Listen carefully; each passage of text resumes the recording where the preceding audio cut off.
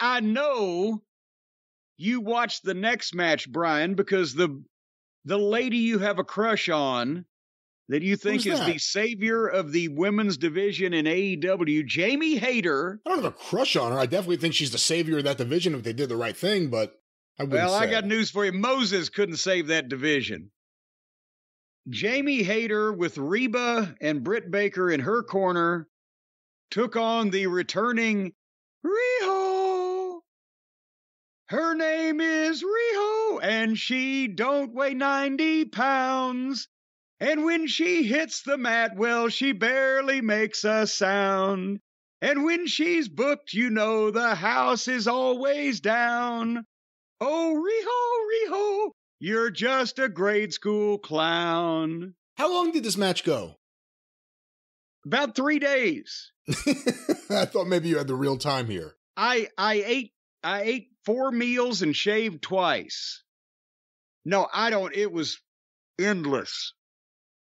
But it, that's the problem. And now we know Twinkle Toes is back because it, uh, he's admitted it and it's not even been called into question. He's not only been in charge of the women's division, but the the Joshi princesses from Japan are his and his alone. That's his whole project. He's responsible. Blame him. This confused looking, buck toothed pet store clerk comes down wearing white chiffon. It looked like she was just stepped off the top of a wedding cake. But it occurred to me just the mousy face and the confused demeanor. She looks like Talia Shire and Rocky. She was the pet store clerk. Yo, Adrian. She looks like a Japanese Adrian. She's confused at where her iguana has slipped away to. Those things they love to fucking hide. Dark places. Anyway, See, what I think you're missing is the audience would be going insane if the entire building was like 12 year old girls were into Riho for some reason.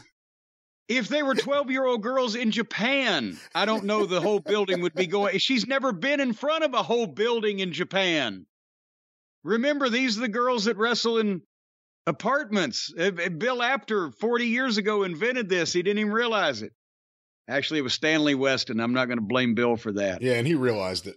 Yeah, the Japanese apartment house wrestling crew is in full force here. So a, a cacophony of silence meets Riho as she wanders down the ramp as she is giving up six inches and 40 pounds to Jamie Hayter by the announcer's mathematics. It was ridiculous. And Jamie Hayter has talent, but she had to either put herself into Riho's awkward bullshit or take her own bumps. It was so phony.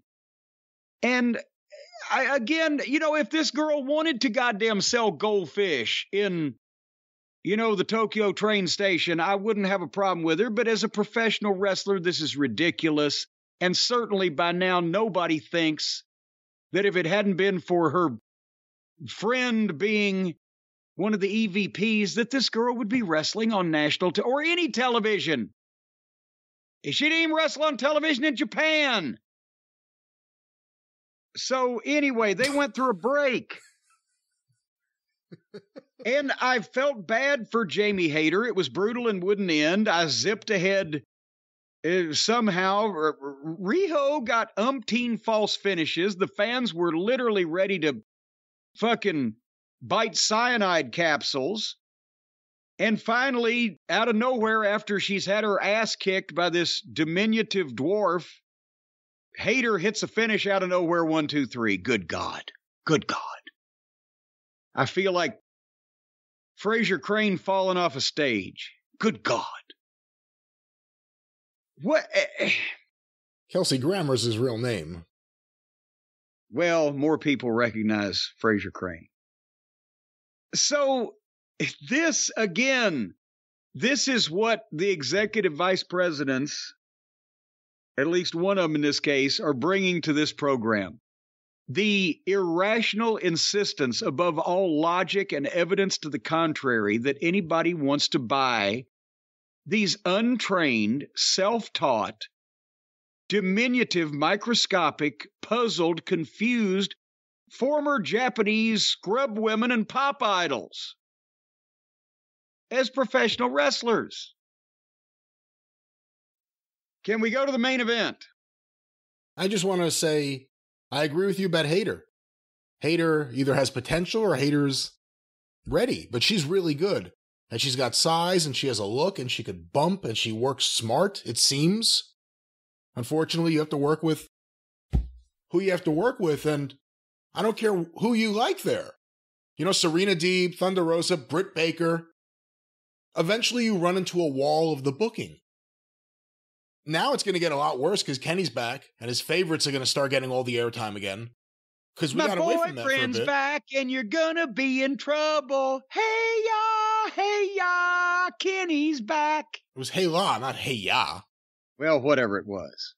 Uh, Hayter's really good. They just need to do something with her.